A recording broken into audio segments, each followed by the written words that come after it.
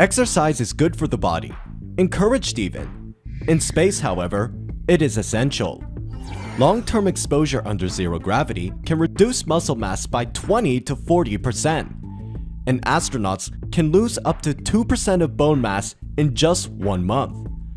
A recent study also shows that zero gravity can alter brain structure, which includes an upward shift in the skull and a narrowing of fluids. That said, exercise is easier said than done. Astronauts can't simply lift weights because without gravity, there's no resistance. They have to use a specialized device that mimics this workout. Aerobics keep the circulation of oxygen and blood flowing, and astronauts are constantly monitored to ensure proper fitness. They exercise up to two and a half hours a day and six days a week. For AccuWeather, I'm Eric Austin.